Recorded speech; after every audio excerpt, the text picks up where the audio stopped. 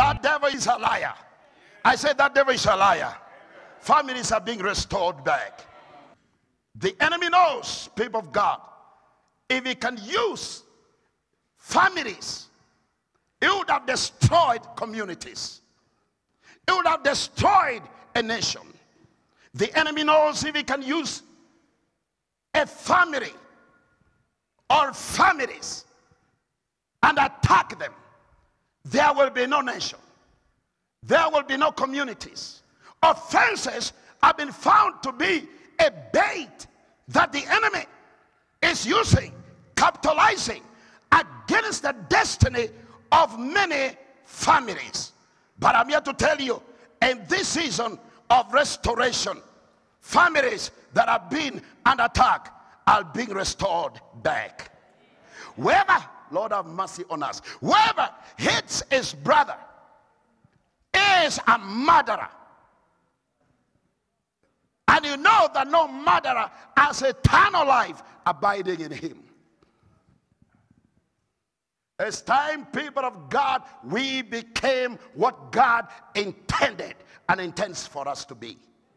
Children of light, walking in the light and not in darkness.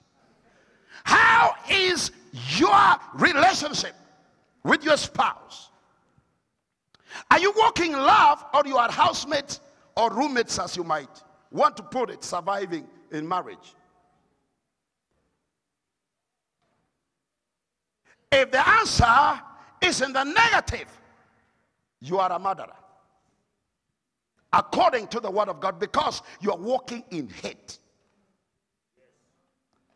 I implore you by the masses of God, you change that by saying, Lord, give me the grace to love. Give me the grace to care for my spouse according to your word. The church must begin at home. Ministry must begin at home. Brother, how can you want to win the whole world with your singing? You want to win the whole world with your preaching when your own siblings are on their way to hell. God saved you and raised you up in that family to become the extension of God's love in that family. Secrets of keeping your relationship healthy. Point number one walk in love. Walk in love. A new commandment I give to you that you love one another. As I have loved you, that you also love one another. That love simply means laying down your life for your brother, for your sister, for your spouse, for those closer to you. Forgive whenever you are wronged. Forgive whenever you are wronged. And whenever you stand praying, if you have anything against anyone, including your spouse, your children, your parents, those closer to you, whenever you stand praying, if you have anything against anyone, do what? Come on, say it. Forgive. That your Father in heaven may also forgive you your trespasses. The kingdom of God is the kingdom of forgiveness. The kingdom of God is the kingdom of forgiveness. Whenever you are wronged, don't keep a record of evil. Don't keep a list of wrongs.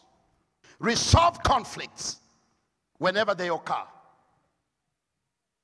Resolve conflicts whenever they occur.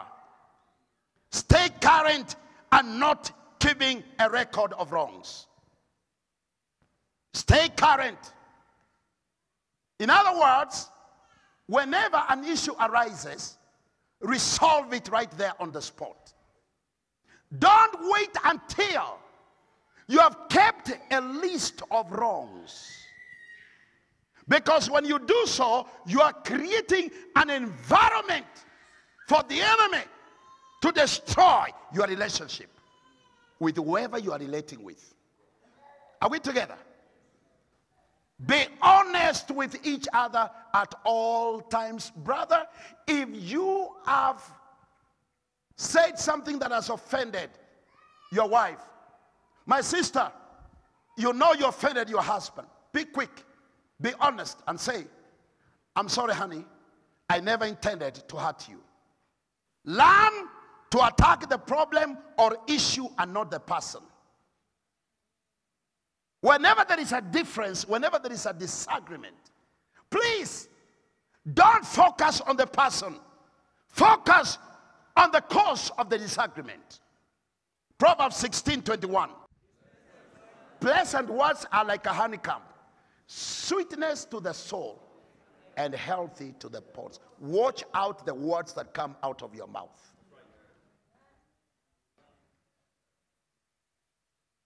You are not entitled to use every word and say everything. Choose your words carefully. Tame your tongue and make sure the words that come out of your mouth directed to your spouse are words of encouragement, life, words that bring comfort, not words that bring sorrow. Always evaluate your attitude about members of your family. Evaluate the kind of attitude you have about your parents, about your brothers, about your sisters, about those close members of your family. If I was to ask each one of you today, tell me, what kind of attitude do you have about your sister in laws? What kind of attitude do you have about your brother in laws? What kind of attitude do you have about your mother in law? Set a guard, oh Lord, over my mouth. Keep watch over the door of my lips. That should be your prayer every day. That should be your prayer every day. Before you open your mouth, oh God, set it a guard, oh Lord. Let me advise officers who are here, those who are working in offices. That should be your prayer whenever you're going for a board meeting. Use that verse whenever you're going for any meeting. Please. Lord, set a guard over my mouth. Keep watch over the door of my lips so that I don't burst in a board meeting.